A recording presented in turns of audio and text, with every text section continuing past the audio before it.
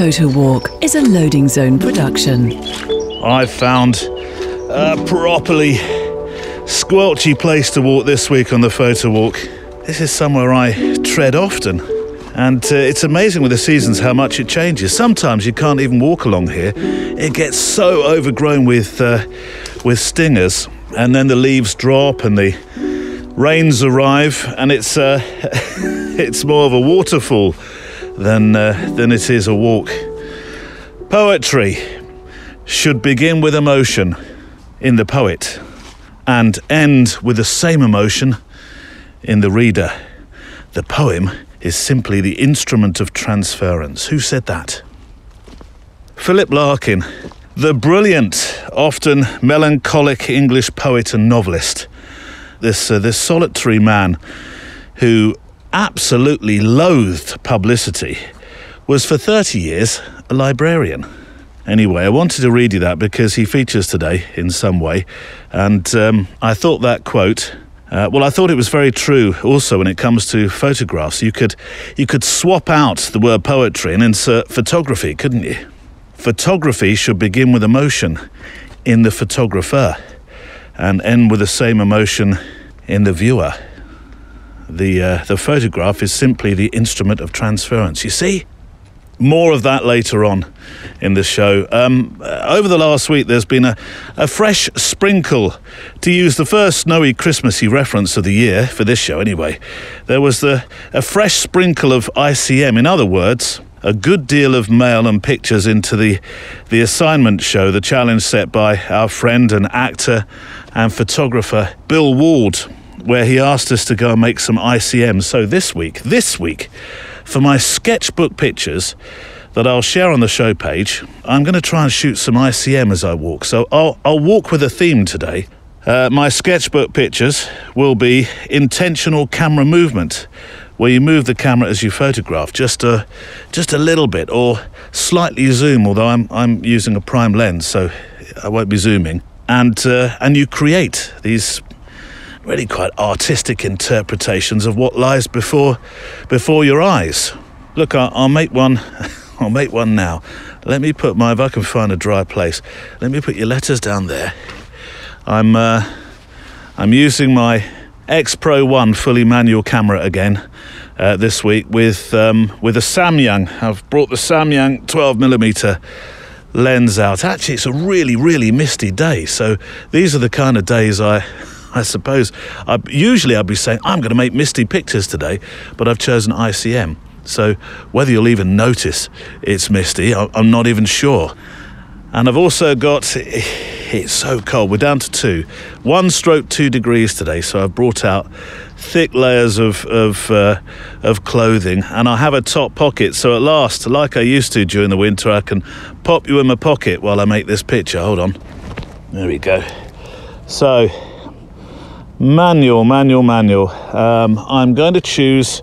Uh, what did Bill say? Did he say 15th or 30th? I'm going to choose. I'll start with the 30th, and um, I'll manually focus for a, what a meter, meter and a half in front of me. F11, and um, and I'll just move the camera. I'll just pull it to my right as I press the shutter. Here we go.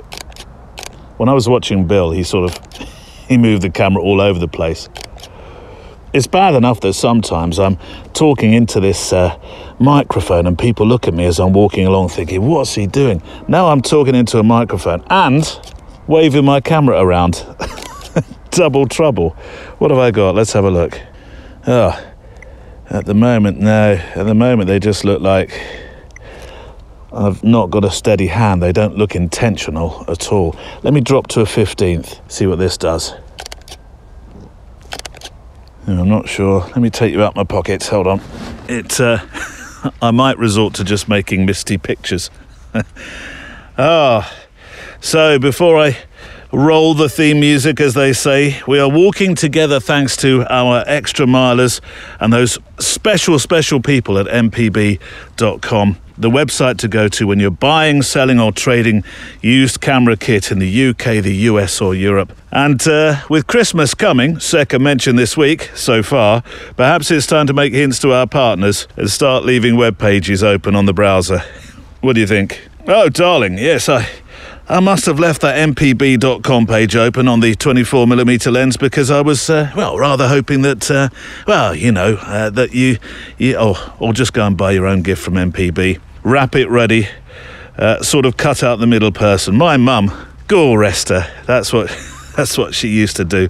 So it's the, the first show of that season. A very good time to go and check what mpb.com has uh, in the new to you kit lineup for 2023. The best place to go for quality used and checked camera kit that has competitive pricing and a guarantee. And you'll be buying responsibly and sustainably by being part of the circular economy. And just so I could get a fourth and in, last I looked, they were uh, still using bubble wrap in the North Pole, not at mpb.com. Oh no. No, instead of that, they wrap sustainably. And uh, if you're hoping to make a few pennies in time for Christmas this year, you might want to go and see what you can sell. What what kit have you not used this year that uh, can take up a little space in somebody else's camera bag that they'll treasure uh, for the next well year or years ahead? So you can go and get an instant quote and and cash in your bank the moment it arrives and it's checked if you if you trade and sell through MPB as well. I'll link to mpb.com on the uh, the show page today. Right, let's try one more ICM. Uh, I'm gonna wave it wave it around. This is quite a good place because I've got the path which is well, it's canopied by lots of trees. So I've got interesting light to work with here. Here we go. I'm uh, this time I've sort of I'm rotating the camera as I press the the shutter button. What does that look like? Hmm slightly more favourable. It's art, Neil, remember? It's art. We'll all be NFT billionaires by five o'clock. Today on the photo walk. The worst thing about trying to do something creative is that there's a huge periods of time where nothing happens. You do really honestly think you will never take another decent picture. Every now and again, you, you do take a picture which you're, you're happy with, and and that, that lifts your, your mood and you think well maybe i've still got a time to take a few more pictures. The important thing is to keep on trying and keep on carrying the camera and, and something will will hopefully happen stories of life told by photographers and today there's a reason why the show has the title it does because Nils Jorgensen yes you do pronounce the J is my guest who is revered for his street work though he goes quietly and gently into his world to make these incredibly potent observations. And as that clip beautifully demonstrates, he, like you, like I, and probably like my other listener too, is human. And I think that's very precious. And I also think with another year almost under my belt presenting this show, he is one of the most, and I'll use the G word again, gently spirited geniuses. Or is it genii? that I've had the pleasure of talking with, and I'll most certainly suggest that I consider him alongside the godfather of colour street photographer, Joel Meyerowitz, in that respect. So, welcome to a unique and special kind of photography show. Unique because it's made by your letters that you send in about what making pictures means to you, and Special because we get to spend time together making our photos, while the letters and former guests inspire with thoughts about photography and life. Whatever you photograph with, a pro grade camera or humble, humble smartphone, it's a show about how making pictures has you feel, what it does for us and others around us. In the mailbag today, learning that you don't have to journey far to make intriguing and interesting pictures. Yes, some more about ICM, finding Philip Larkin, venturing out into the dark, and the release of something I definitely need your help to understand. And an old friend returns at the end of the show, that is. So, shall we walk? Checklist out. Coffee Garibaldi's packed. Check. You'll need them today. It's cold. So remember gloves. Check. Boots on and laced. Check. Spare batteries. Check. Geolocation app activated if you're map logging your pictures. Check. Uh, that has been shortened actually. Where's the letter? I'll have to shorten it for next week.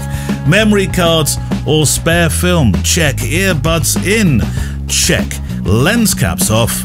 Let's walk. Can I say, right at the start, next week is Christmas Jumper Week.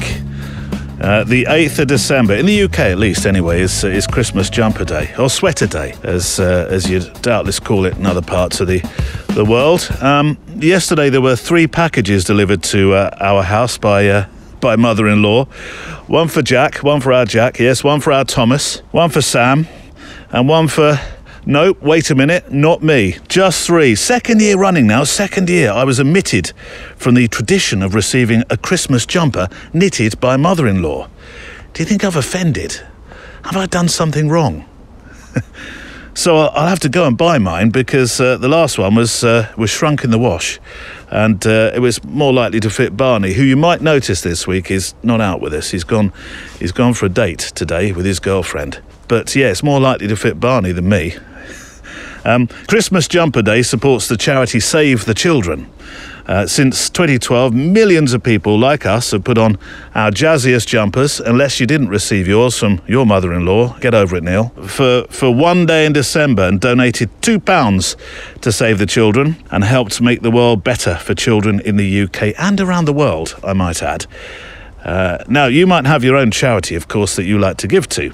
But for those who can, send me a picture of you in your Christmas jumper for the show page next week. And, um, well, I'll tot up how many we get and I'll make an annual donation on your behalf because it's something that we do every single year. So, um, Christmas jumpers at the ready.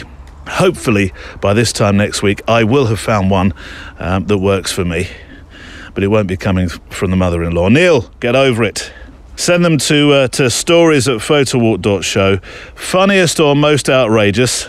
Tell you what, I'll send a anywhere in the world. I'll send a flask to, and that can be uh, outrageous or funny picture, as much as outrageous or funny jumper uh, or sweater.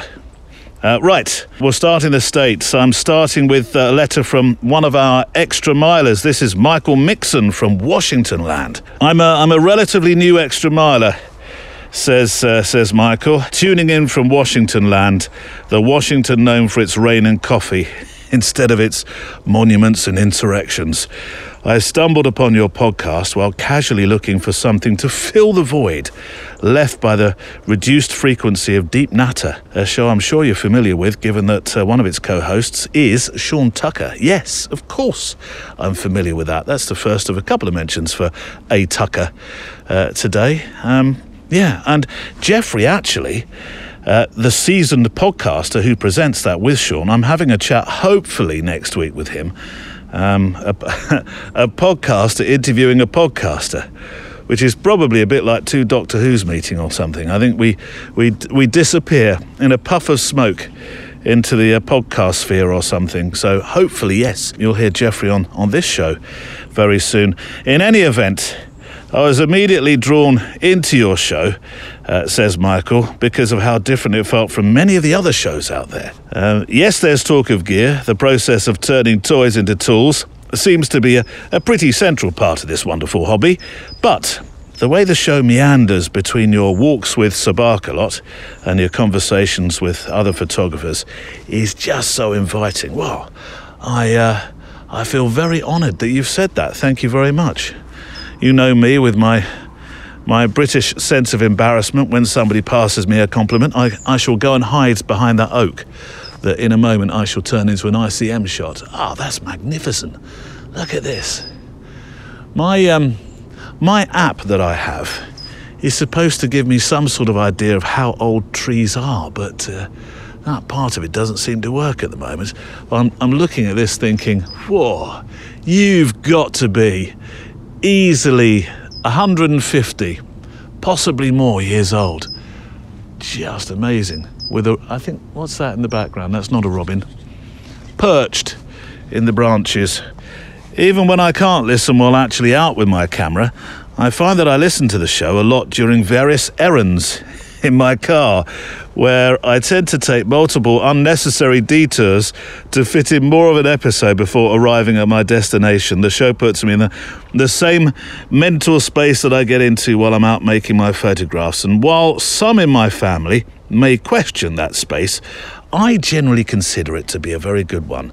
Yeah, I will join you with uh, with that as well. Oh, hang on a moment. I know I'm supposed to be doing intentional camera movement, but there's a there's a branch just it's almost like slicing through a frame in front of me that that sort of is devoured by the mist behind it. I feel I want to take a non ICM picture. Hold on. I'm going to have to up my shutter speed though. I've waited for mist all year, as some of my esteemed photo walkers in the extra mile group will say. And then on the day we've got mist, there's me choosing to do intentional camera movement. Uh, but Michael, I'm so pleased to learn that I'm I'm not the only one, by the way, who does that car thing. Um, if there's a phone in on my favourite radio station going on and I'm still in car, I head off into the villages close to where I live and I drive round aimlessly for sometimes quite a long time. Friends of ours have a have a, a, a, a I suppose it's a is it described as a family app? Uh, it, it's uh, where they where they can follow each other in essence, and I still find that just a little bit strange. Um, he's on a business trip at the moment to America land, and his wife was telling us she texted him the other day to comment on the bar he was having a drink in. I'd find that really spooky. If you were to follow me in my car during a juicy phone in, you might think I was casing the neighbourhood or something. Anyway, where were we? As for what I photograph, says Michael, it's mostly just what I come across near my home especially since COVID, my, uh, my wanderings, or meanderings as I would call them, have not been particularly ambitious. Still, unlike when I was younger and thought that only the good photographic opportunities were in far off exotic places, I have learned to take a longer, closer look at my more immediate surroundings. Doing a, a photo a day project last year really helped with that, and while I haven't had the discipline to do another one of those this year, I do try to have the camera with me or the phone so that I can capture interesting compositions or plays of light as I encounter them. One thing I'd like to attempt, and inspired by the guests on your show, is the pursuit of a particular theme or subject matter in my photography, instead of just continuing to take a series of reactive images. The only problem is that I have no idea what that theme might be. Maybe after several more episodes, something will spring to mind. Or, or eggnogs, may I venture. Best regards, Mike. Well, Mike, a couple of things do occur here. I think uh, I think you'll very much appreciate the, the chat today with Nils Jorgensen because I recognise uh, the magic this this street photographer finds is so- sometimes not on a, well, often not on a busy street in a famous metropole somewhere in the world. Actually, he's moved to a, a very quiet part of the UK of, uh, of late, a place called Norfolk Land on the east coast of, uh, of England. Um, and often he's behind a, well, some of the really amusing pictures that I love from his collections are made from behind a, a dry stone wall that's bordering a field deep in the countryside. Not, not one person in sight addressing your exotic places comment anyway. And as for the, the theme or subject matter comment, well, it may be something we do more of, he says, glint in eye, in 2023 as a feature on this show. A kind of watch this space moment. Um, but um, Mike, thank you so much for being an extra miler. I really appreciate your generosity of spirit in being there as a, as a supporter. Michael's pictures, by the way, that he sent in with this uh, with this letter will be on the show page, and he is a lover, it seems, as I am, of the lower key image, where the mist, the M word, the mist, and the darkness of some pictures, and I mean physical light by darkness, kind of invites you, invites you right in, like you're trying to look beyond. Well, I found like I'm trying to look beyond or in and beyond the photograph. Um, it's not all low key, of course. I, I love, but I love, love, love the uh, the the pizza restaurant at night photograph, and that's on the show page as well. It's like a well, David Hockney pictures, I suppose, are not necessarily nighttime, but it reminded me of a, a David Hockney uh, painting. Uh, well, to me, at any rate. But thank you so much for your for your pictures, and uh, I feel privileged to put those on the the show page today. Hang on trying to navigate. There's a stream coming up, or is that a footpath? One of the two. Right, let's try and get past.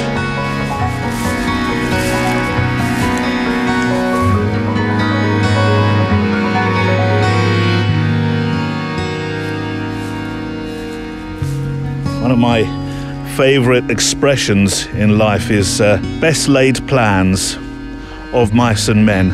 Can't remember the rest of it but uh, the idea today of making lots of ICM seems to be rapidly being replaced by seeing these wonderful misty scenes. Um, I may have the wrong, the 12mm may not be the right lens for this, but I'm using my manual, uh, well, I've, I've set it in a fully manual way anyway. Uh, and by virtue of the fact I'm using a, a, manual lens, the Samyang, on the front of my X Pro 1, my Fuji X Pro 1, means that, uh, well, I've, I've selected to, to do everything manually. Exposure, um, shutter speed, the whole, the whole nine yards. But there's, um, there's a, a, telegraph pole with um, electricity wires shooting out of the mist that comes towards me and overhead, and it's kind of, well, this scene's kind of vignetted by some uh, some bushes here, uh, and I think, again, moving away from ICM uh, for a moment, I'm going to try and gather this picture, a more sort of mist-led picture. Let's see where we go with it. Uh, 250th, I've set it 250th f11, um, ISO Oh, we're where we were last week, 640. But it kind of works, so I'll leave it there. And uh, there we go. Shall I try and? Uh, I'll tell you what. Let's uh, move this. Let's move this ISO a bit, shall we? Go into the menu, ISO. Let's drop down to. Um, let's drop down to 400. There we go. I'll need that really for the ICM. I'm going to come back to a 30th or 15th, I think was uh, more successful, wasn't it? And uh, pop myself onto F22 and uh, we'll do the same shot but uh, intentional camera movement. Not quite sure what that'll do because they've got the light of the sky and the darkness of the, the bush that I'm photographing from behind right in front of me. Let's see what we what we have. Another one of those, left or right this time. Waving around. I've, I've no great idea of what I'm doing. Isn't that the beauty of ICM, though? It's the, um, it's the playful expression of not having a clue of what it's going to come out like. I agree with Bill that it must have been really hard in the days of film to, well, it must have been really expensive in the days of film. At least with this experimentation, it's not costing me a couple of quid every, every single click. Well, I've done a few more. Whether they'll be on the show page today, I don't know. The Misty one may may well be. Um, there are two photo walk at the moment. There are two photo walk shows a week. Um, there's the photo walk, i.e., today, and on Mondays we have a, a short show which uh, fits into the um, the photo walk environment insofar as that. Uh, the challenges uh, usually involve you going out on some kind of photo walk, and it's called The Assignment. The show is called The Assignment. It uh, does what it says on the tin show, really, it being a challenge set by a former guest. Um, usually, and on occasion, I've I've dipped into the challenges pot too, and I think it must be my turn again, very very soon. One of the most popular assignments of late has been uh, the one a couple of weeks back set by Bill Ward, the actor, the photographer, and the proponent, yes, of intentional camera uh, movement. And I like the fact that uh, many of the pictures received for this challenge have been a result of you trying ICM for the very, very, very, very first time, much like me. And uh, well, that's what the assignment show has been all, all about. So, uh, so on that note and challenge, here is uh, one of the letters. Well, I've got a couple actually uh, with pictures for the assignment show, the first of which is from Gary Phillips. Hello, Neil. I just wanted to, to say how much I enjoy the podcast. All this flattery in one week, is that is that absolutely necessary? Should have edited it out. Thank you, Car. Don't be miserable. But flattery does get you everywhere. uh, Neil, you're so cheap.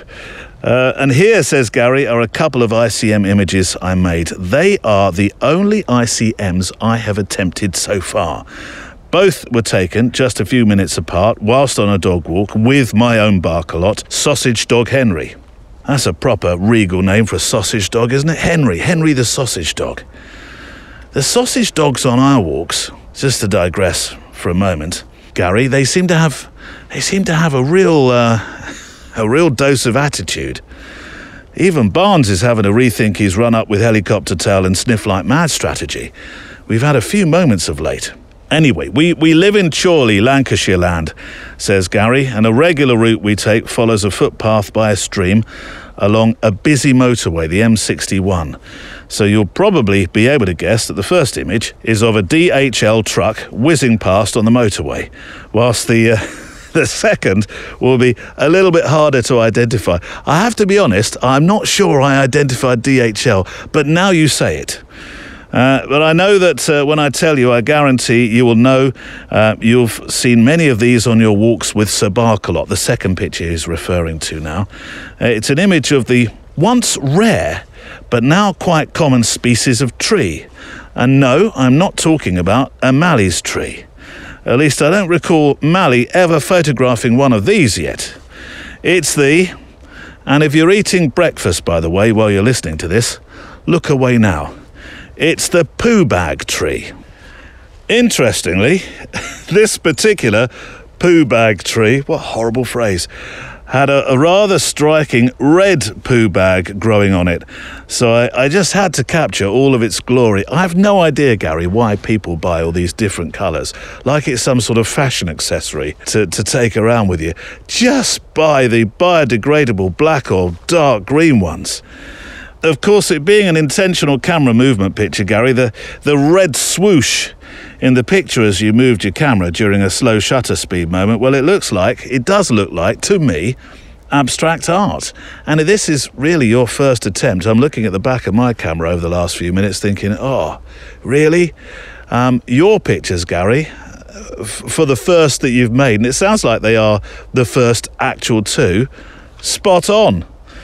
Um, and I, uh, I know the purists or supporters of this man, uh, who I'm about to mention, are going to recoil in horror as I say this. But I was thinking, looking in particular at the red poo bag ICM, um, I was thinking uh, that it, well, it reminded me of a vertical version uh, of a painting called Number Six, Violet, Green, and Red, painted in 1951 by the artist Mark Rothko. what? Neil, I almost spat my marmite on toast out there. Are you comparing the the dog poo bag tree ICM photograph by Gary Phillips with a painting by Rothko worth $180 million? Well, yes, I am, actually. But um, only insofar as those sweeping motions of movement within the frame kind of way. I'll get my coat, shall I?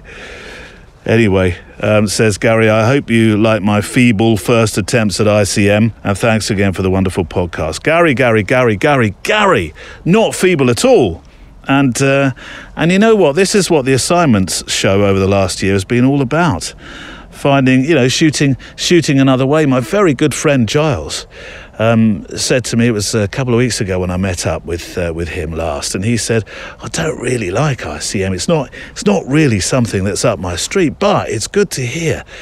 Uh, people experimenting, and and uh, and it's good to consider going out to experiment, doing something that you've never thought of doing before, even if it's just a, a few moments, just to try it out. And so, Gary, thank you for that. Now, I think you've you've you've hit on my um, uh, you've hit on something that I absolutely loathe seeing while I, while I'm out. Those small pooch dookie bags hanging from trees. Oh, is that not just the laziest thing? Really, just take another sort of storage bag out with you, and uh, and, and, find a bin. Uh, and don't put it under the dog's collar. I see that, and I'm thinking, why, why on earth does the dog want to carry it anyway? Should we move on? How's breakfast? Good. And uh, whilst uh, and your pictures, by the way, Gary, they will be on the uh, the show page for the challenge, as opposed to today's today's episode. So go to episode three five three to see those. And whilst we're talking ICM, one from Paul Friday as well, whose pictures will be on the very, very same page. I was delighted with the conversation with Bill Ward, not least because I now know who the other Pentax person in the world is. And yes, we are a cult. Um, I was due out that weekend for a toddle with the youngest lad. Normally, I'd rather put marbles in my boots than shoot landscapes. Steady. But uh, doing some fuzzies was fun. Uh, it even got the lad's attention off his phone to ask, What are you doing, Dad? He then held the dog's lead while I waved the camera about. Such moments of familial bliss are to be treasured. For the picture of the river Ouse, I was trying to pan with the water. Not sure if I got it, but uh, I've been back since to have another go. Who'd ever have thought you'd get me outside twice in one week, Neil? the tree and the bush were multiple exposures, which I like. I'm thinking of where I can go to get more isolated trees that I can shoot with a longer lens, so you may even get me out a third time. I'll be buying OS maps next and carrying them in a plastic pouch around my neck. You will look quite the picture, Paul, almost like we all know what we're doing, huh? But uh, humour right up my street, and I'm sending you, Paul, a flask. I know, I know, Gary. I should be sending one to you too. Your time will come. Uh, and I know I did this last week, but I'll um, I'll choose a different moment uh, from the uh, the recent show with uh, with Bill Ward. Uh, let's have our, our first roll of inspiration from him, who I walked with on the show. Uh, was it three weeks back now? Yes. Um, here he is talking with great passion about making pictures and acting, and it was interesting how he how he marries up the two. The more acting I do, the more photography I do, and they balance each other out perfectly. Yin Yin yang. And there is a side of me that loves making stories and um, and working on a stage and working with a company of actors. I love the energy of that. I love it, mm. and I love the unexpected nature of a rehearsal period. I love starting with nothing and finishing three and a half weeks later with a fully all singing, all dancing show. I love that. There is also a side of me that is reflective and needs peace and quiet and solitude, and photography absolutely provides that for me in abundance. And so for me to have a balance between those two things, I feel terribly lucky. And the longer I can keep both of those things running, the better for me.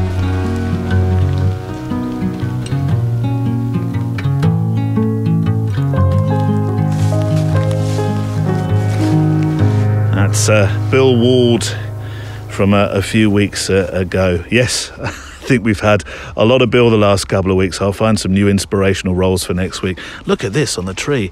These, um, these are ah now are these artists bracket, artist bracket, artists bracket. I'm pretty sure they are. They're very velvety, fantastic, with a, an oak leaf just fallen between the two of them.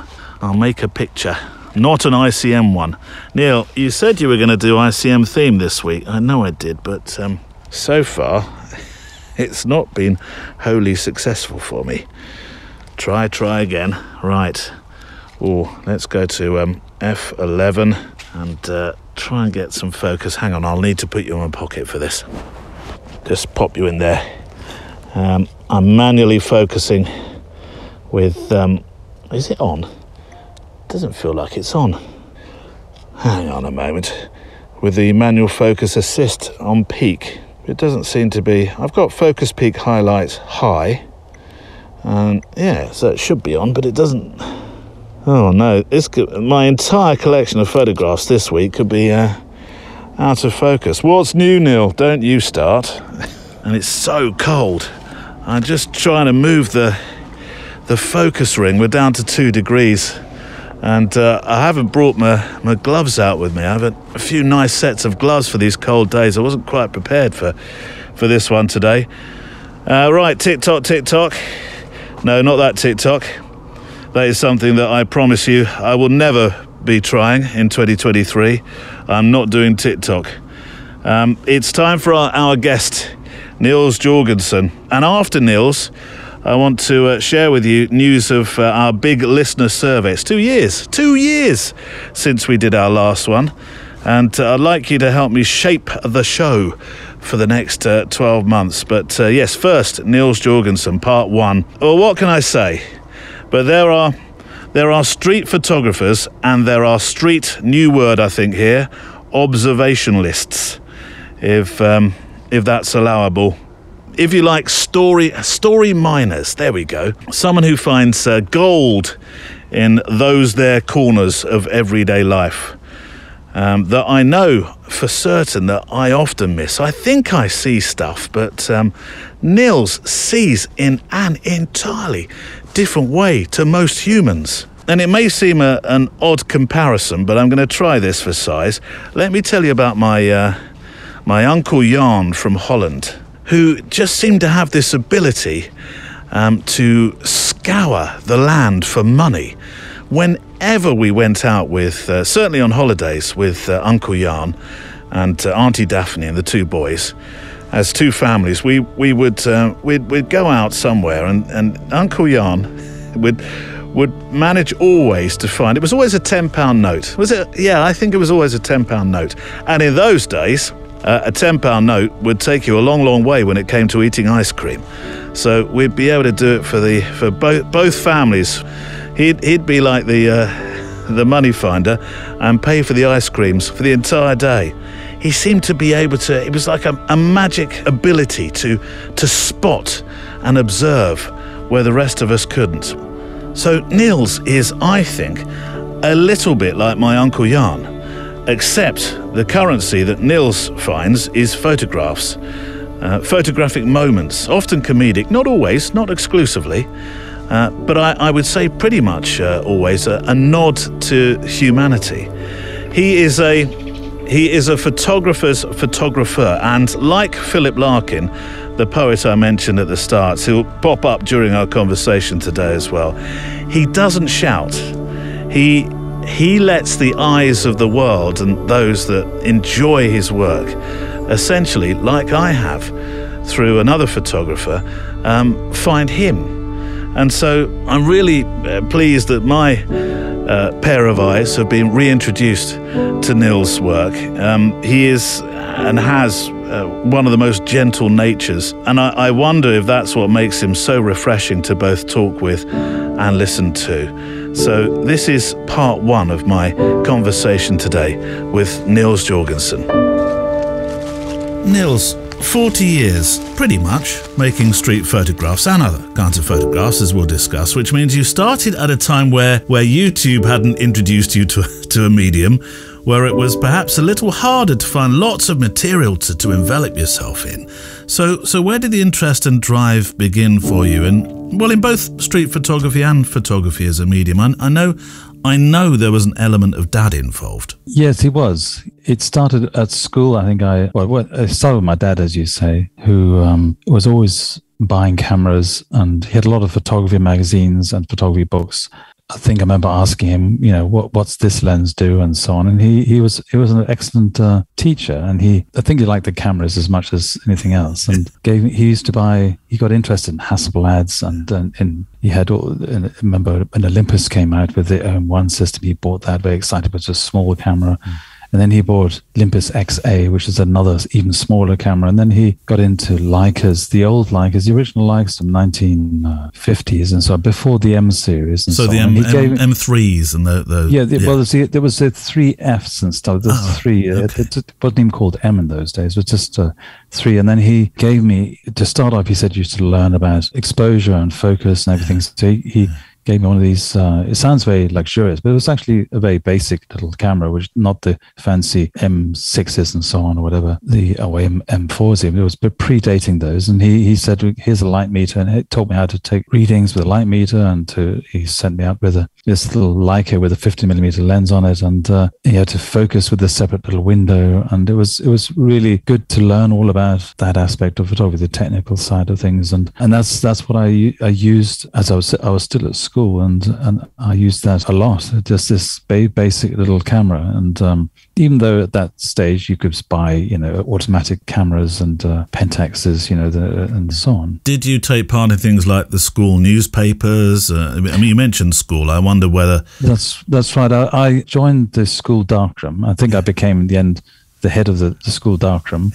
it was a great little room we had with a larger and all you needed for to to develop your film and print your, your photographs. Then I started submitting pictures to the school magazine. Every every term, the school published a magazine, and um, I just ended up photographing everything just street photographs, really, uh, although I didn't know at the time what I was doing. And also photographing, you know, various sort of rugby matches and so on. And and it was a very, it was a, it was a wonderful school, um, King's School, Canterbury you know, but whole, the whole our whole lives were, were involved with the school. So I was photographing everything that was going on really, and just um, it was always great to see my pictures published, you know, in the magazine, in the school magazine. I, am probably going to make a giant leap now, Nils, between uh, that time and the the move to Nairobi for the Associated Press in, in East Africa. Mm. But mm. there's a bit in between. I, I, know you probably should furnish us with that because you don't just go from this uh, this amazing experience at school and then straight into East Africa, or or or do you? No, I went I went to college first, the West Surrey College of Art and Design. Yeah, where in fact Martin Parr, I think, went. Really? Okay. Uh, I, I, didn't yeah. know that. I didn't know. Yeah, that. he did. Right. I think he, yeah, he was there a few years before me, and um, I, I, I, kind of enjoyed it, but I left after I finished the course, and uh, I'm not quite sure. I think you had to give a talk about photography to the the whole to the class or something, and I just got more and more worked up about things I had to do, and I just wanted to get out and actually do some real photography, photography. and uh,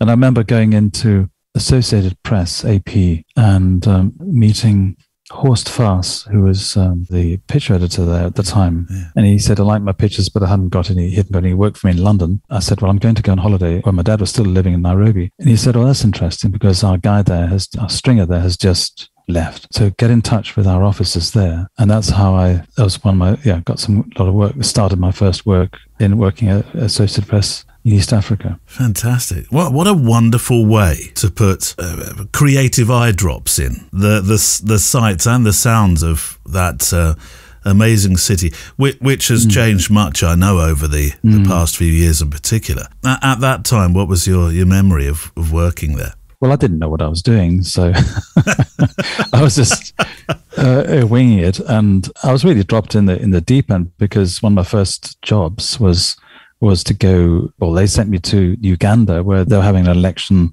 Obote was running for president, and was, it was quite difficult to work there. And as I said, I barely knew what I was doing. I was just photographing the elections and so on. And it was quite um, dangerous as well because the, the, soldiers were running around in the streets and uh, firing rifles and so on. And I, I got a, a, lot of help from Brian Barron, who used to be a reporter, Brian Barron for the BBC. He said, "Well, uh, I said, well, I don't know how to get my films back to, to, Nairobi. And, and he, he's offered to take my film back on the BBC plane that was flying out and so on. Brian Barron, he's, he's very helpful.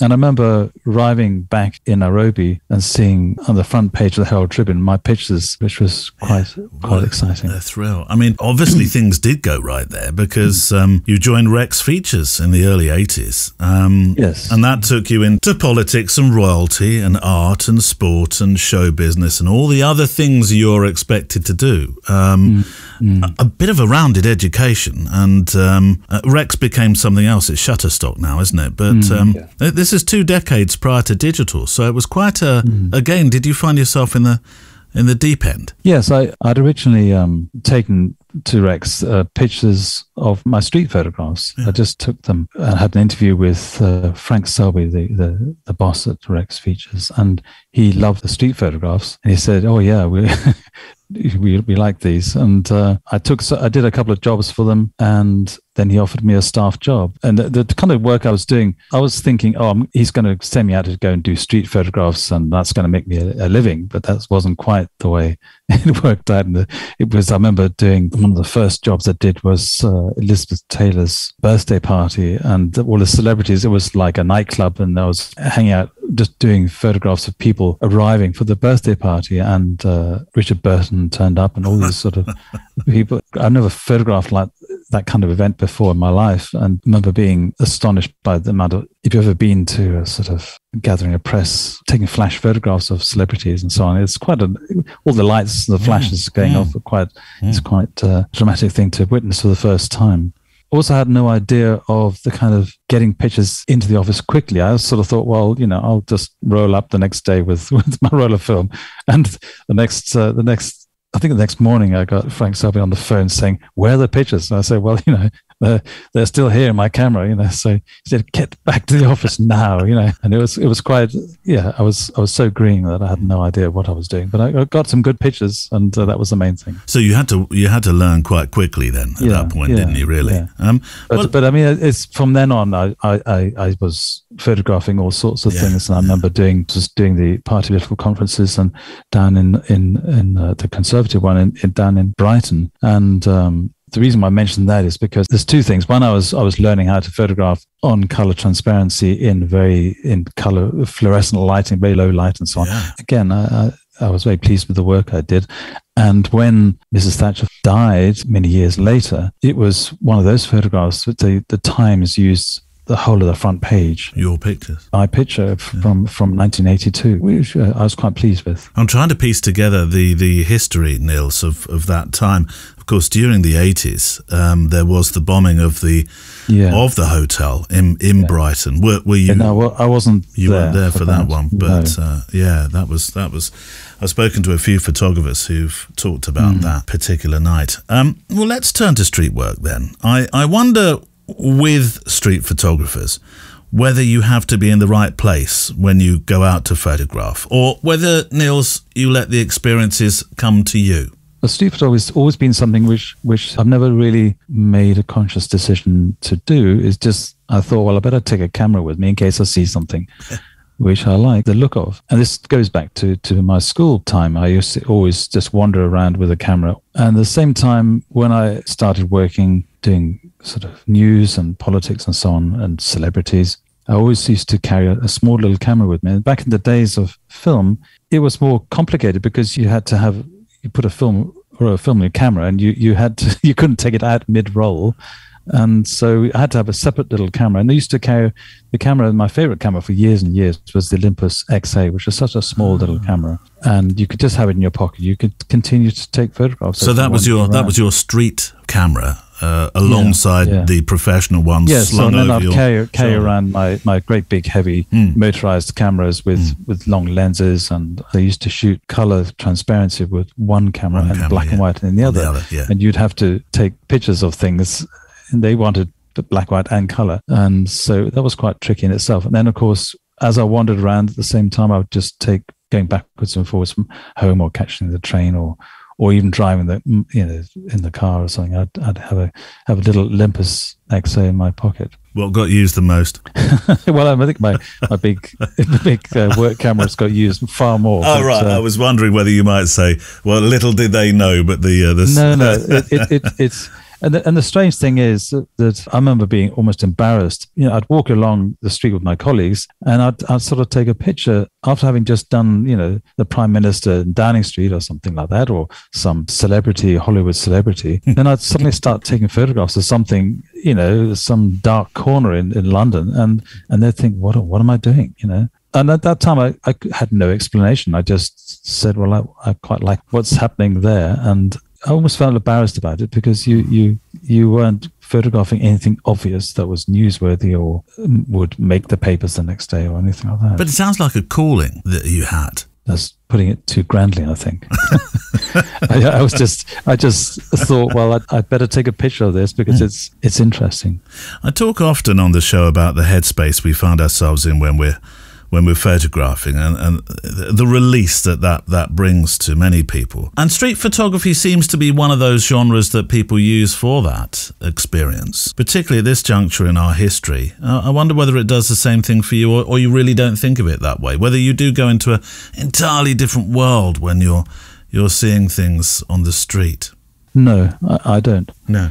I just have a camera with me all the time, and you could see something at any point. And you know i could be having a, a conversation with somebody or, or just going about my life really. And i don't get into some separate headspace or anything like that. The only thing i would say it's almost like a burden because you have you, you're going around and you in some ways you'd almost want to be relieved of having to to worry about seeing something. But in the old days when film uh, with film i'd actually sometimes on occasion run out of film and you get a sense of panic because you, you almost want to sort of go around with, with blinkers on because when you haven't got anything to record something with, then Yeah. you, you sense a panic. You know, you, it was and, and and today if a camera battery runs out, or these days you you have thousands of photographs on one one card, so you don't you don't uh, run the risk of running out of, of space or running out of film, but um, the camera might run out of batteries. It's interesting you- talk about a burden, Nils, because um, I was introduced to your partner just uh, a little while before we started the. Uh, I I only saw the sort of very top half move Oh, yeah. past you, but I, want, I wonder what your, your partner feels about this. Let's call it burden. Um, are you impossible to walk the streets with in case you should see something continually? It's it's yeah. You have to have your partner has to be patient because sometimes she's walking ahead of me and, and I'm all the way back there photographing something, or or she's also quite good at getting out of the way. You know, suddenly see something and you know she knows that it's best to hang back or, or or wait or to stand at a corner somewhere and wait till I've finished. Yes, I would imagine I'm quite. It's quite. Uh, you could get impatient waiting for me to to take a picture. Well, it And, seems to uh, me she has the instincts as well. Yes, yes. And in fact, actually, I've been thinking that I should really label some photographs, pictures that my partner's seen. She says, "Oh, that looks interesting," and she's right. I've I've taken pictures that have actually been spotted for me. So I've got an extra pair of eyes. Yeah, uh, uh, some pictures should be credited to to Liza, my partner. I think. well, well, there's there's a wonderful humour to your pictures and work. Some of the pictures that immediately strike me is your fascination with, with human nature and how daft we can be uh, as humans. Without there's no cruelty in your pictures, and actually that's a very important point, I think, isn't it, Nils? Because um, st- street photography can be cruel. It, ob- observational and cruelty. It sort of it runs a, a, a tight line, doesn't it? Really. Uh, and I, I wonder how you uh, you approach that. For, for instance, we would never see poverty porn in in your pictures at all. Yes, it, it's. It, I think it may be in, in the early days. I realized that you can make fun of people quite easily, maybe, and I think it's more interesting to try and capture some other aspects of of human nature. It's surprising, as as us, as I quite often surprise myself. You sometimes see something which is very um, fleeting, and you you almost think, really, you're wasting your time. But then afterwards you kind of see there was, was something there that, that is maybe very subtle. It's difficult to point out, you know, at the time. And I sometimes, you know, people do a lot of workshops and take people around showing, it. I've, I've done those in the past. And it's, it almost be, be embarrassing, I think, to, I'll find sometimes it's embarrassing to take people out and walk around with them to, because you don't sometimes have any idea what might be interesting. And you also think, well, why am I photographing that? And you don't even know yourself until you've actually analyzed it later. And looking at photographs like on a contact sheet or, or, or later is one of the most important aspects of, of the whole thing because you then dig out these little scenes that you've seen and, and uh, it's uh, not always obvious at the time. That's interesting because I think Joel Meyerowitz, with his work with the flowers, for example, years later he goes back into his his uh, his back catalogue, his library, and finds that many of these images sort of. He, he found himself photographing things that later on actually linked up, and hmm. he wasn't to know at the time. And you sound that, that you have a very similar way of working in that respect. Yes, I'm, I've always thought that if I become old and incapacitated and I can't walk and everything, I could just go back to my archive and, and go through them. So I'm looking forward to that in some respects because it'd be, it's very interesting to look back at, as you say, things that you photographed maybe 20 years ago or 40 years ago and and find a whole lot of images which at the time you either thought that didn't work the way I thought it was going to work and yet it, it, because you often build up an image in your mind and then you look at it when you've later and you think well that that didn't work or you you've taken pictures that you just without asking yourself why but you you then find there's something there that's actually quite interesting later Nils Jorgensen, and uh, there's more to come from him today. And I'll be talking with him a little bit more on Sunday's Extra Mile show. Plus, I, I think I. I may try, well, I've started already, so uh, I, I may try and complete something I started to write about poetry and uh, its relationship with what we do when we, we make pictures. After my conversation with, uh, with Nils, I was inspired in all kinds of ways. And um, following today's photo walk, I shall be, um, I shall be heading into to town to uh, buy myself um, a Philip Larkin poetry book. So uh, there we go. Inspiration of a very different sort this week. And I, I wonder actually whether, after you've heard him talk about Philip, whether you might as well. Um, send your pictures and your stories. I haven't mentioned this today yet, and I should because they are what drives this show. Send them to stories at photowalk.show. Stories at photowalk.show. If you're sending pictures, 2,000 pixels wide, please. Um, you don't have to send pictures. It's great to get stories from you as well. And sometimes the things you say about photography, that's enough um, without the pictures. But if you if you like to share the both, then there's a place waiting on the show page for you um, send them to, as I said before, the email address stories at photowalk.show.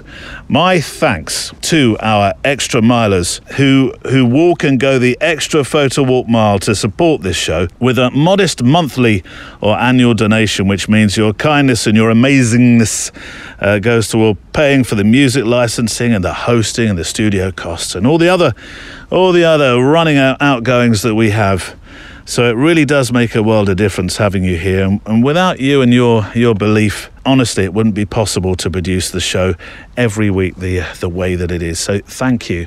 As we head into 2023, it's going to be even more important. Um, to support this building project, this weekly walk, this glimpse into to people's lives through the literal lens of their cameras and generosity of sharing in terms of um, the amazing personal stories you send in.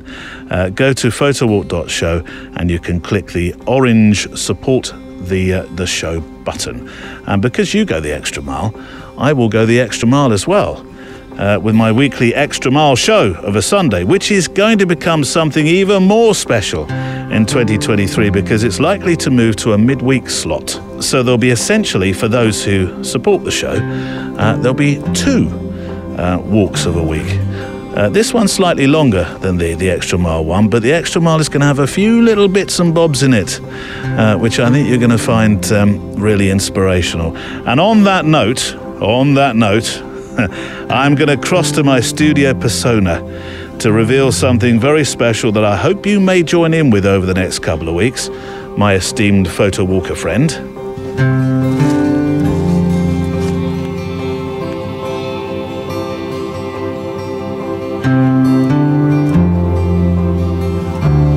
As this show enters its third year, I think we've developed and shaped into a program that I, I believe, I hope, has a, a true unique nature. The photo walk engages ears internationally once a week or twice if you're an extra mile supporter.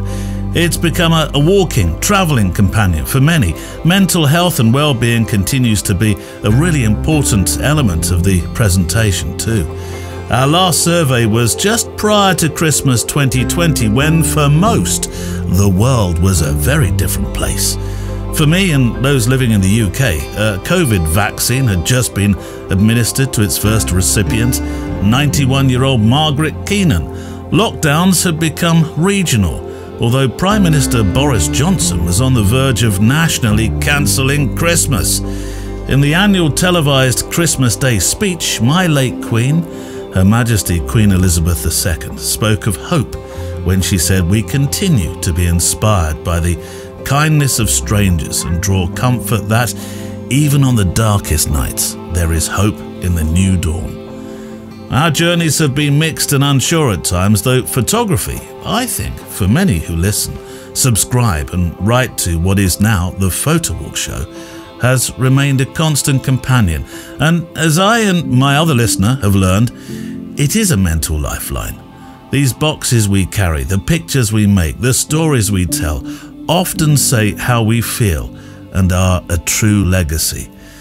So at the end of 2022, please, would you lend me 365 seconds of your time to join in with a new survey on the website two years on? And it will help develop ideas, adapt, and build the show for the next 365 days of 2023. For those who wish to leave an email address, participants will be entered into a draw to win a £50 Amazon voucher or equivalent in your world region. So that's the big survey, if you like, for this programme, the Photo Walk Show. It's on the website, photowalk.show. You'll find it in the menu bar right at the top and I look forward to reading what you believe should happen to some of the show elements. and how I can continue to serve you best on the podcast in the new year. Looking forward with, uh, with an ounce of trepidation to the feedback that's uh, received from that, uh, that survey. Uh, really important to, to how the show um, moves along in the, the next year. And I quite like the idea that, um, that you're part of that decision. The extra milers uh, last week or during the week got the, the chance to make a, a few of the, I think they've shaped the decisions that has uh, subsequently become um, the, the survey for, for this year. So my thanks to the production team, really, that are the extra milers. We have, um, we have our monthly Zoom happening on it's Wednesday actually. It's usually the first Tuesday of the month, but uh, there's some Christmassy things going on, which has made Tuesday impossible uh, before Christmas. So we're doing Wednesday, and uh, part of the the meeting, um, I'm hoping that uh, we're going to share. Uh, there'll be enough of us that will share two, maybe three, or one is fine. pictures that we feel has um, somehow identified the year or or, or maybe just our favourites from the year, pictures that, that really show how we feel about photography from the the past 12 months. So that's uh, that's on Wednesday for those of you who are joining us on our, our monthly extra miler Zoom uh, that we have. Right, this letter. Now, I have been meaning to use this for quite some time, but um, as the nights have uh, now drawn in, and in a week where we're talking about gently walking the streets and enjoying the, the calm process of observation, I want to uh, share Peter Upton's project with uh, with pictures, of course, on the uh, the show page today. Peter, you probably thought I'd forgotten about you, but no, not at all. Hi, Neil. I'm starting out on a new project and wanted to get your thoughts on the start I've made. The project started from a picture I took of the shambles in York. Now, my other listener may not know at all what the shambles is, so let me just fill in the blanks for you. It's uh, not what is commonly thought of as the mess our more wizened leaders seem to lead you and I into. Politics, Neil. Steer clear. Yes, sorry. The shambles is sometimes uh, used as a, a general term for the maze of twisting, narrow lanes which make York, quote, so charming. And it is. Oh no. Why do, I'm sorry if you're eating your breakfast, people with horses along these paths, I think you know what I'm getting at. Oh, start again. um, which make York, quote, so charming. Uh, at its heart is the lane actually called the Shambles. Arguably the best preserved medieval street in the world. It was mentioned in the Domesday Book of William the Conqueror in uh, 1086. In fact, uh, he used to do all his Christmas shopping there. True story. We went to the Shambles actually on a school trip, and uh, the overriding memory of that trip was the guide who spent, I would have been, what would I have been? 10 years old, I think, uh, was, was the guide who spent a good quarter of an hour telling us about uh, how people would, uh, would slop out, so to speak, uh, onto the streets below because each floor in these medieval homes, each floor sort of sticks out a little bit more as it goes up. Whoop, up a bit, out a bit, up a bit, out a bit. And so you kind of overlook the street uh, below you. Um, but it's very much like. Um, like a real life Diagon Alley. It's a very, very special place. Uh, despite, despite the thought of people throwing you know what out uh, onto William the Conqueror below, just as he's minding his own business, doing uh, doing his Christmas shopping, or having a pop into Starbucks to, to clean up. Um, so there we go. a shambolic way of describing the shambles. And a good and a very good reason why I didn't become a history teacher. Anyway, back to Peter. This is a scan of the, the darkroom prints from the four five negatives of the shambles at night. And uh, once I saw the pictures, says Pete, printed in the darkroom, I loved them so much that a project was born. Isn't that just the most fantastic way of finding a project? You do something not really thinking too much about it. You do it because you just you know, want to do it, it's enjoyable, you've taken your camera out and you thought, why don't I just try X? And then suddenly, poof, an idea, a light bulb, a huge light bulb comes on. My, my idea, says Peter, is to shoot ancient streets at night on 4 5. I've taken the project to my hometown of Scarborough now, photographing the bolts in colour on digital. You'll need a bit of history again, won't you? Stand by. The bolts are a series of narrow, poorly lit passageways running intermittently behind Scarborough's seafront cafes and amusement arcades. In 1225, Henry III, who loved the penny arcades apparently, especially the tuppenny shover and air hockey, Henry, the, Henry III made a grant of 40 oaks. That was the currency of the day to construct a new quay and houses that should have been really the end or signalled or or or sentenced.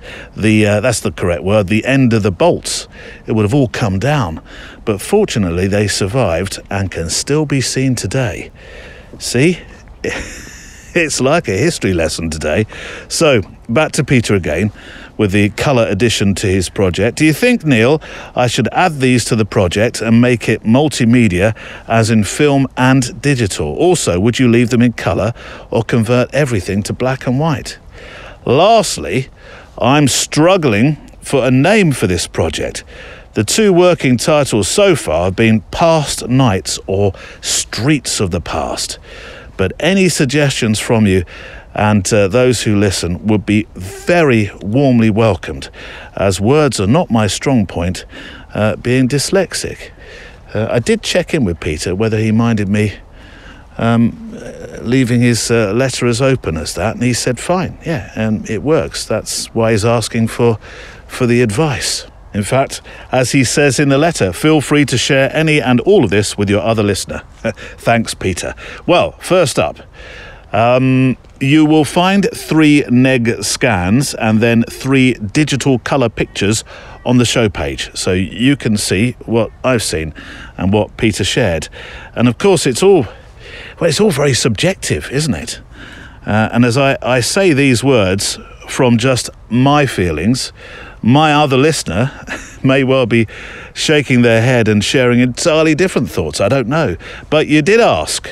So here's my tuppenny halfpenny's worth, as they would have said in the arcades of the bolts. For me, Peter, love, love, love, love, love the black and whites and the uh, the feeling of, of that that medium. Um, the fact I can, well, I, it just it feels to me like you're taking your time in a in a very different sense. Um, a more perhaps measured, perhaps collected sense.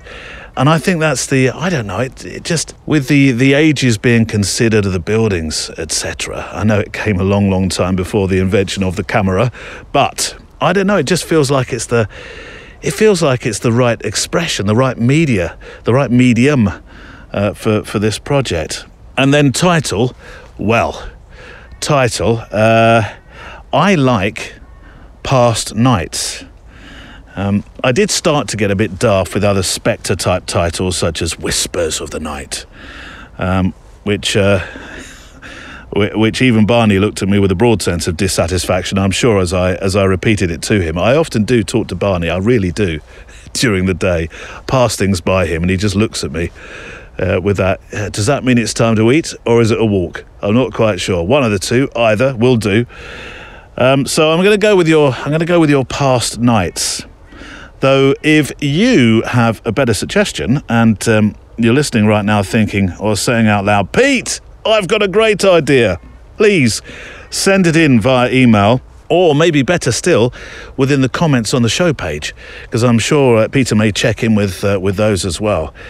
Um, it it does, uh, but I tell you what, it does take a it does take a little courage to do projects at night. Safety is obviously very important. We've talked about that before, haven't we? When you make projects at night, safety being one of those things you do have to, well, personal safety and kit safety.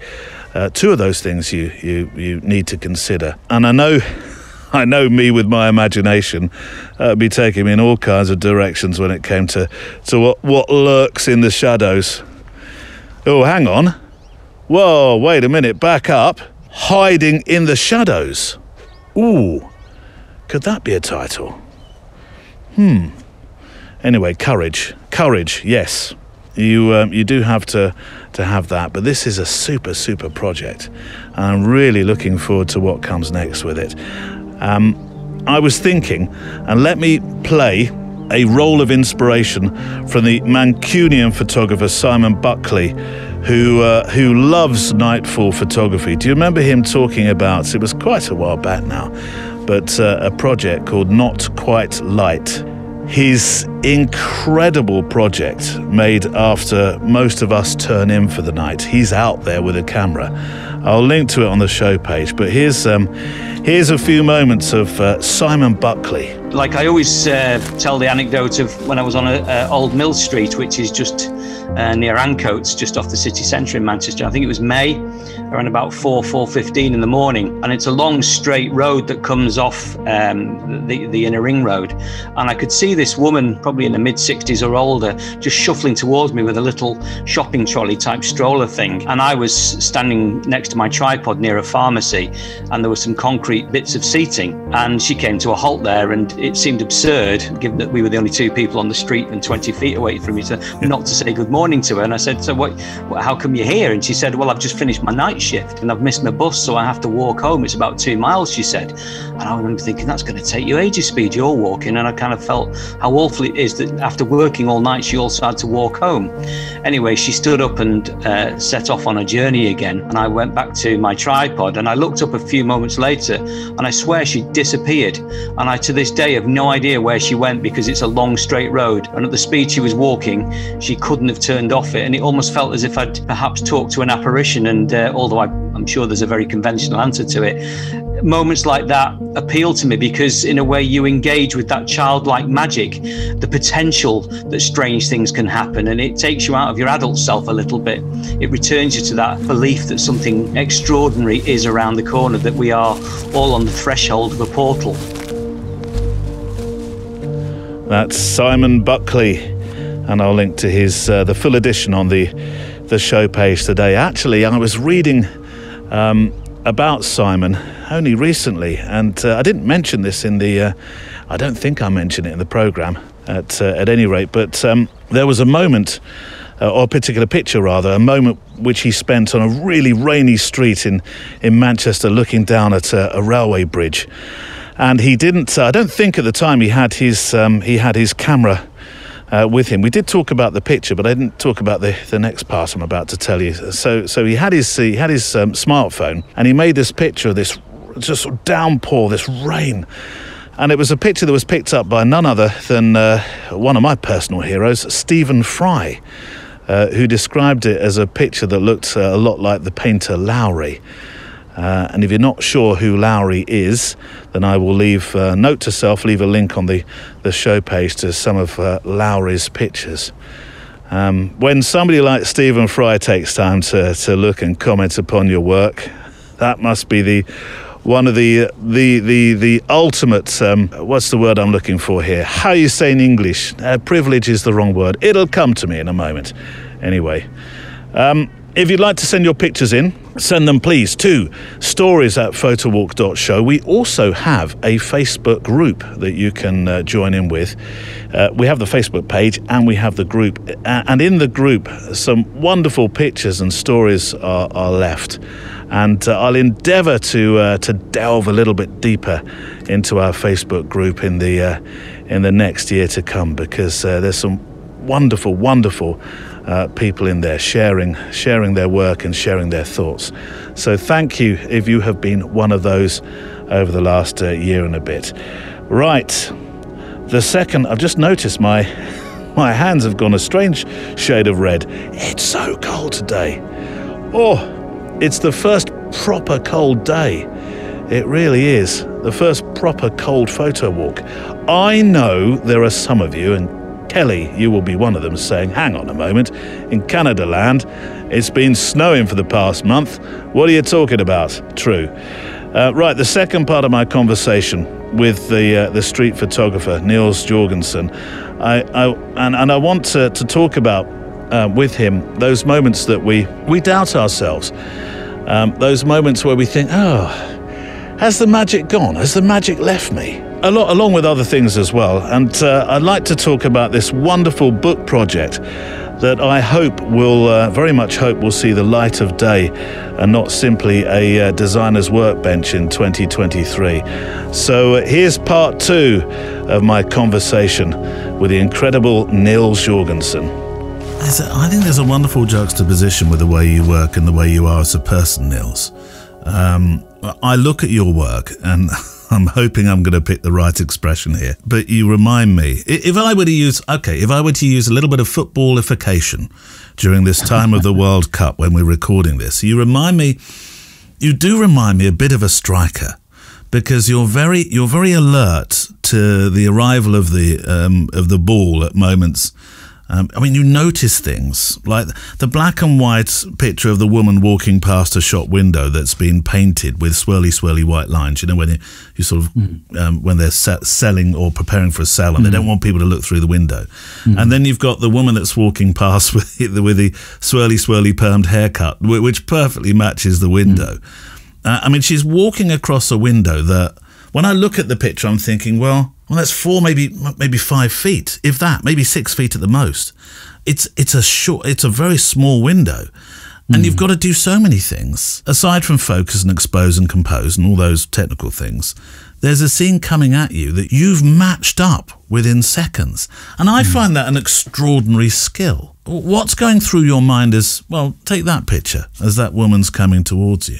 Well, that, that was taken some 40 years ago yeah, or something like that. Yeah, and uh, yeah. there are some things that often I think all photographers maybe go back to. And, and these swirly windows are always rather interesting. They're, they're, I think maybe you could probably do a whole project, a book of just those swirly windows, couldn't you?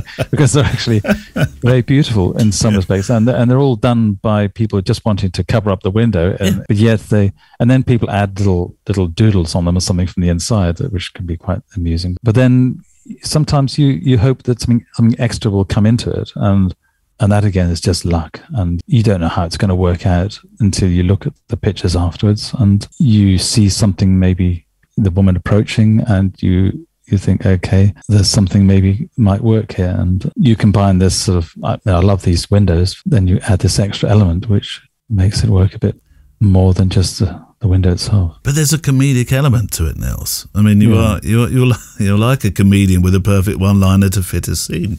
Often, mm. I mean, that cat jumping from. I mean, that's another. I think another photograph that that is taken out of the archive that I saw in the film.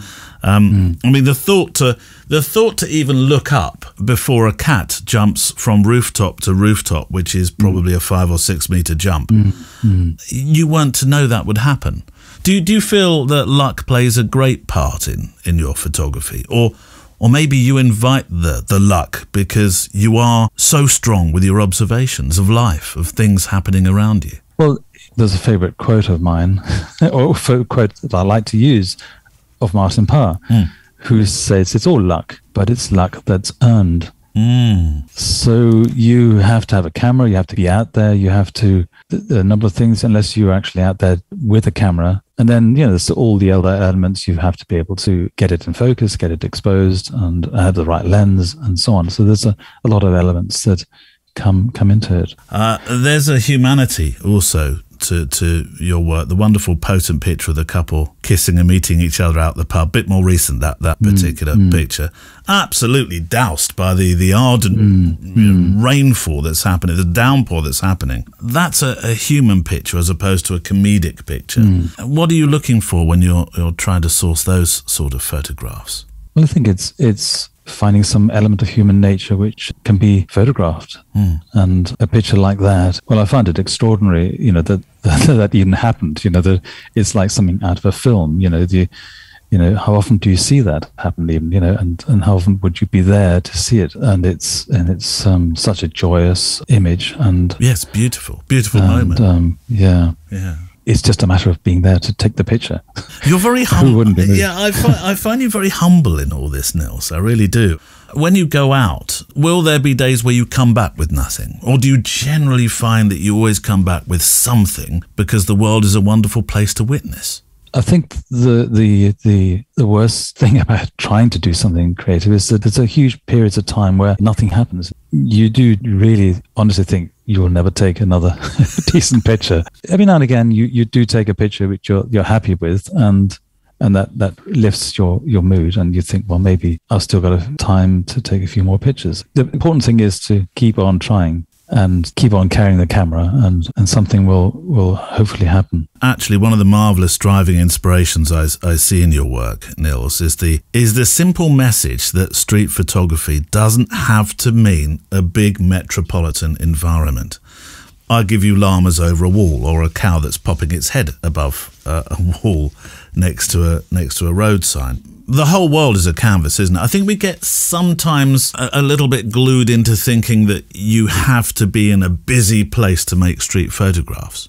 Yes, I, am glad you, you think so. It's it's. I just found that when I was on holidays in different parts of the world or, or different parts of the, of the country in, in England, I wasn't going to stop taking photographs, and so you just carry on. Yeah. The, the, term street photography, I guess, uh, is one that's always been been open to interpretation, but I'm going to define what street photography is as far as I'm concerned, and and and that's that. It can be llamas in in a field or, or a cow in a field as as much as Oxford Street, and you don't have to. Uh, it doesn't have to be that particular type, and and you know you you can look into the history of, of photography, you know, Kertész and, and Winogrand, they, they took photographs in all sorts of different places. And um, Kertész, he was, he was photographing all sorts of things and, and he's has always been a huge inspiration. So I'm not going to be ruled by, by any, no. by my geography. Or, or, now, I've moved out of London in the last year and a half and live in Norfolk now. And uh, I'm slowly, I guess, continuing to build up a, a pictures that have less of Oxford Street or, or, whatever you might imagine. And reflect your life now. Street photography now, London Street Photography, the World Atlas of Street Photography, the Street Photographer's Manual. There's just some of the books that have featured your work. But now there's the first monograph of your work. The book Nothing Like Something. Look, we'll get on to what's happening with the project in a moment, but I, I am intrigued. Firstly, I know it's a poem, but the story will be so much better coming from you. Um, why the title, Nothing Like Something? I think I love the poet Philip Larkin, and he's he's a bit like a street photographer. The his poems are all about life that he sees around him, yeah. and um, and he's talking about his poems are all about uh, sometimes about you know places and people, and he's witnessing he's witnessing things like the, yeah. there's a poem Whitsun Weddings, um, I think that's the title, where he's just on a train watching um, in, the, in the old days when people went on the honeymoon they used to catch a train to, to Bognor Regis or somewhere but he's just witnessing the countryside and the people all the weddings as he goes down and the train stops at stations and, and, and on a Saturday afternoon and people newly married couples are getting on the train and so on and so forth. And his his his, his poems are like street photography yeah. but written street photography. And um, I particularly like his his poems. And this particular poem is about his his childhood where, where he's he's arriving at a, again on a train and he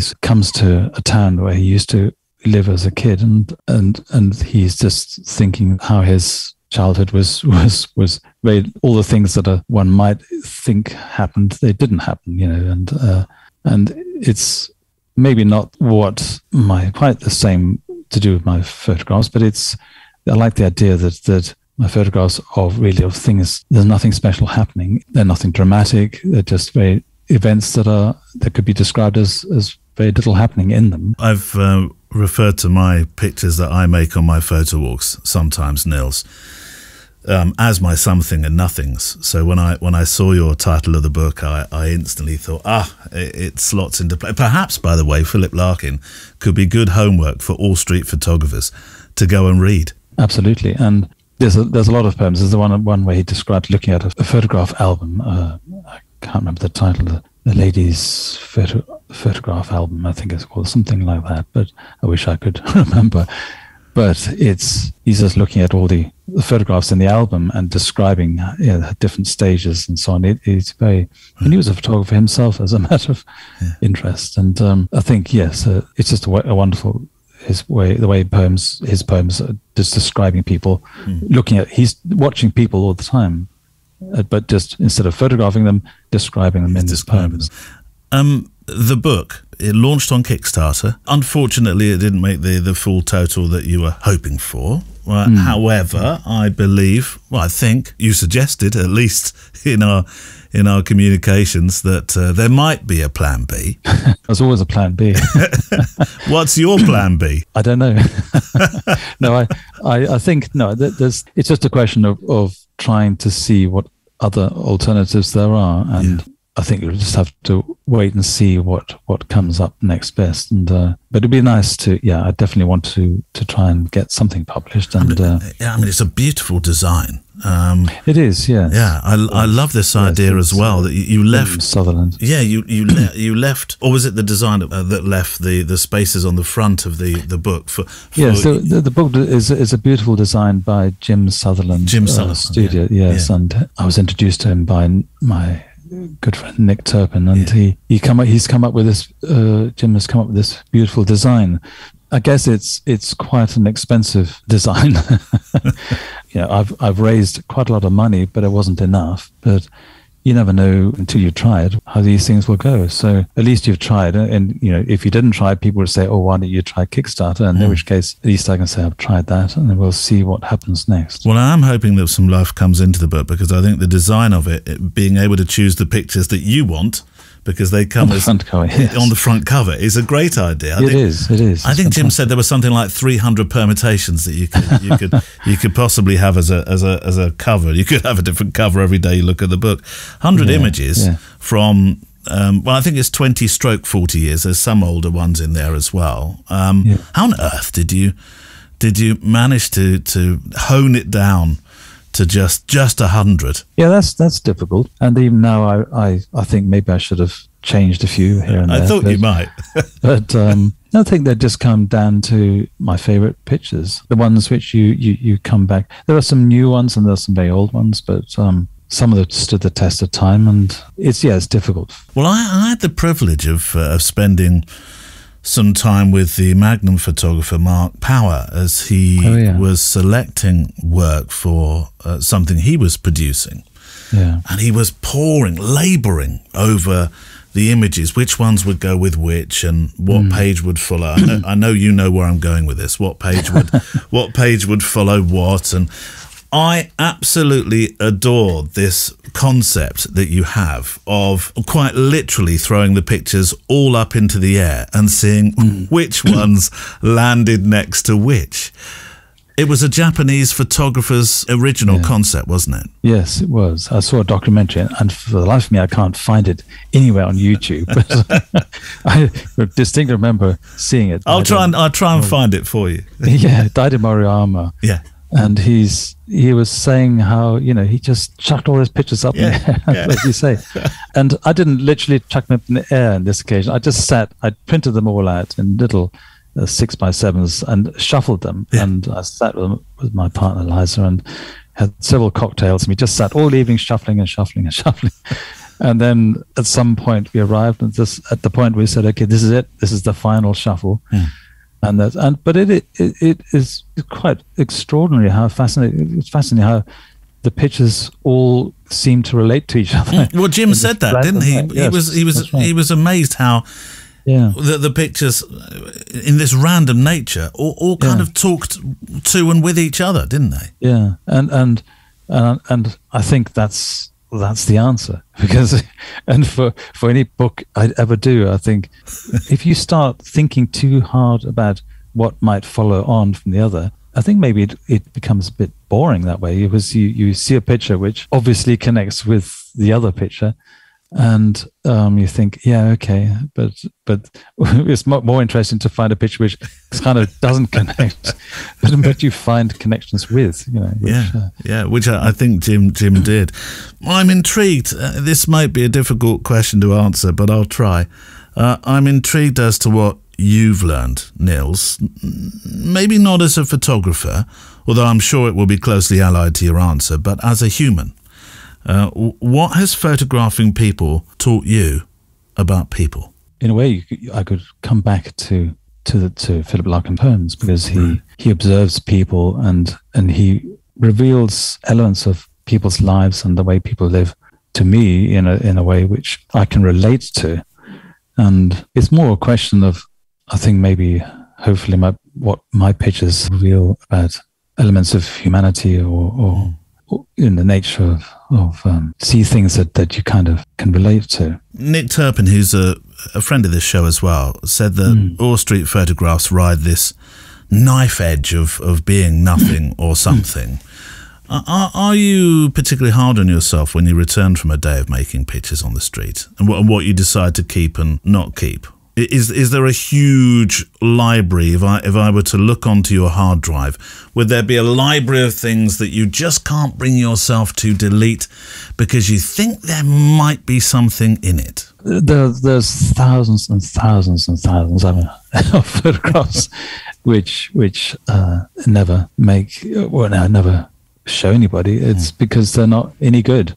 And one of the things that the whole uh, burgeoning interest in street photography has brought about is the there's there's a lot of it. There's a lot of images around, and yeah. it's just important not to bore people with too much, uh, too many pictures, and show something which you think is is worth showing. Mm. And again, it comes back to uh, you know Philip Larkin. He wrote very few poems he, in that respect, he's he's uh, an inspiration from that point of view. He, he uh, I think he was very hard on himself. For what he finally thought was was worth showing. It's been, it's been very interesting uh, having conversation with you about about inspirations. It feels feels to me a bit, Nils, like um, perhaps Philip Larkin, though uh, he did carry a camera as you as you told us, but mm. um, maybe he's been as as much a an inspiration as someone like a Henri Cartier-Bresson or somebody like that. Mm. Yeah, I think so. Absolutely. The way other people work, and that could be the same for uh, music as well, and so on.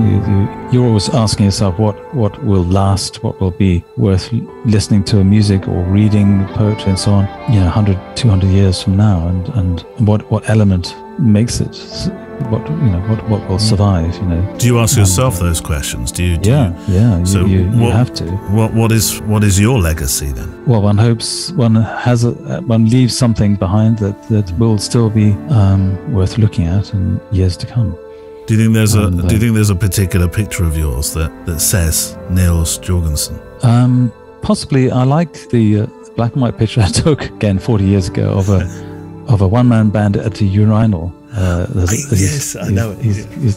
And I, I, particularly liked that because it was one of the f- early on pictures I took very early on, and it it has all the elements that I like. It's it's it's um, taken with a very small camera, a little Olympus XA, a little small pocket camera, in an unlikely place. You know, uh, gents urinal.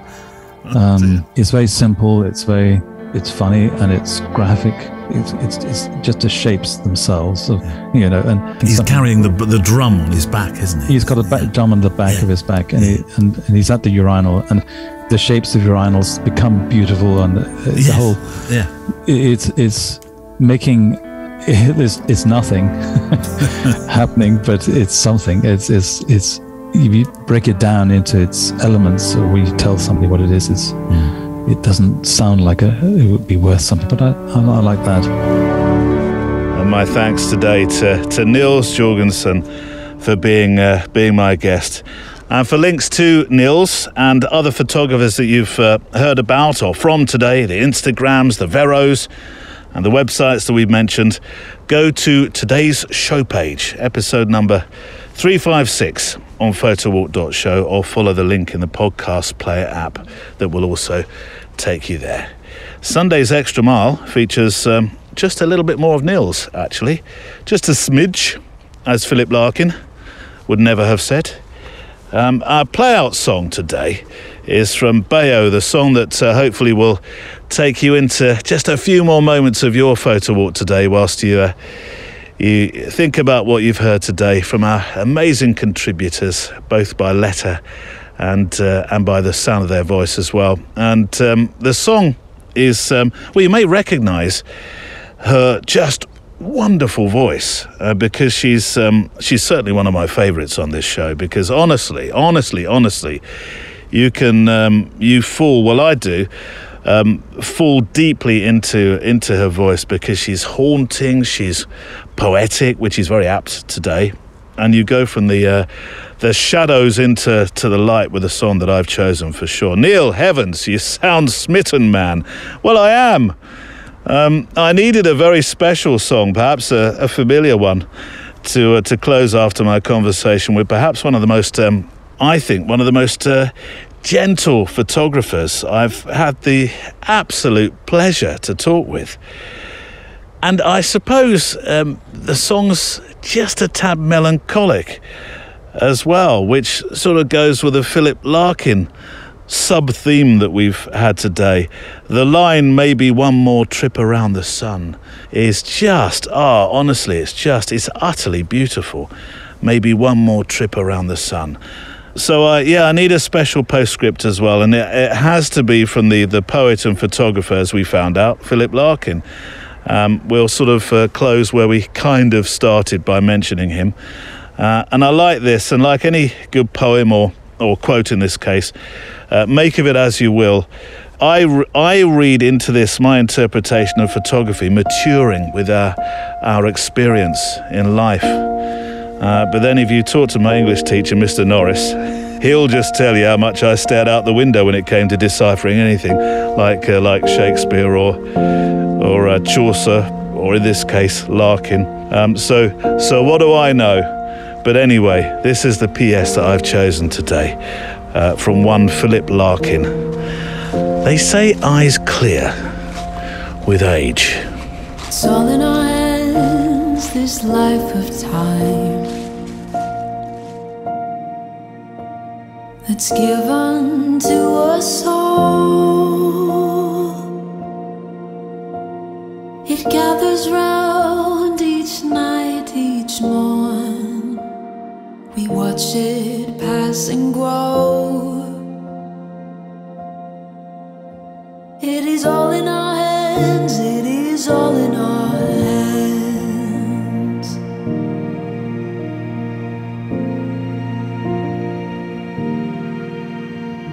With every field and rising sea, can hear the sounds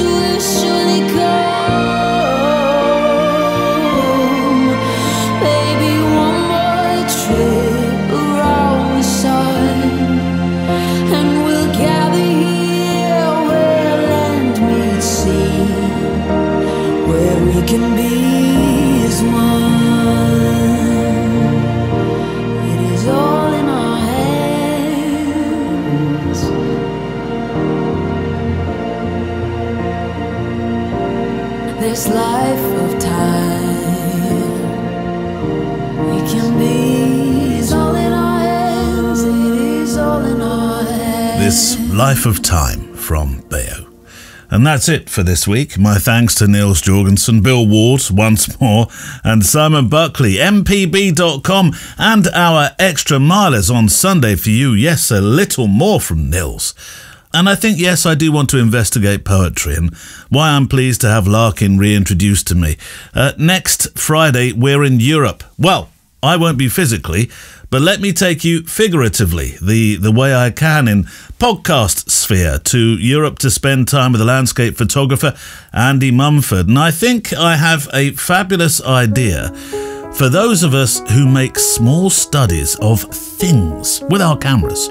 This idea really captivated my imagination earlier this week when I recorded a conversation with a photographer who hand makes small photographic pamphlets, then, then leaves them in places, sometimes libraries even, for people to find. It is a magical idea, and the conversation sort of, well, it organically develops as we go along, and I think you probably will gather my enthusiasm uh, grows too as the conversation happens. I wonder what Philip Larkin might have said had he found one of these pamphlets in between the literature in his library. I will introduce you to a special, a very special photographer in next week's show. Music today is from the wonderful artlist.io. Final fist bumps go to Neil Ford, head of stuff I just don't understand. Although last weekend Neil turned up and sorted a load of stuff I don't understand. Emily Renier for your eyes in our Facebook group, and Andrea Gilpin, Chief of Staff on the Instagram Vero and Ideas floor. I look forward to photographing with you, hearing from you, and talking with you next time. I don't know. I'm like second best, I am. Oh, car! Ah, it's been months since we've heard from you. Yeah, since that small furball's arrived, you just talked to him. I think you need to remember who takes you on these wonderful walks. Oh, Car, are you feeling a bit unloved? In a word, yes. Well, Car, just for those who thought I'd come to my senses and didn't talk to my jalopy anymore, I tell you what, a fan letter flooded into you this week. Really? For me? Yeah, for you. From Graham Tucker. No relation, I think, to our friend Sean. Other Tuckers are available, as I said earlier. Well, go on then. Read it. I will. Hi, Neil. I just wonder have you sold Car? Only I haven't heard from him for weeks. Not that I don't appreciate Sabak a lot, but I thought I'd just check in. Since uh, our family, we have uh, a car we talk to as well, called Wilma, the seven year old Golf, who's still going strong with 87,000 miles to her name. A few more dents, though.